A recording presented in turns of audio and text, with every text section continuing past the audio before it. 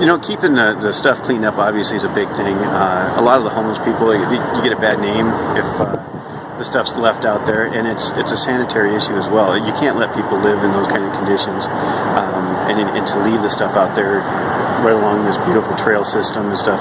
It's it's what we do to help keep that city clean and, and kind of keep the uh, after the people that are living there. It also gives us an opportunity to go out and contact people that maybe not, wouldn't come into services otherwise.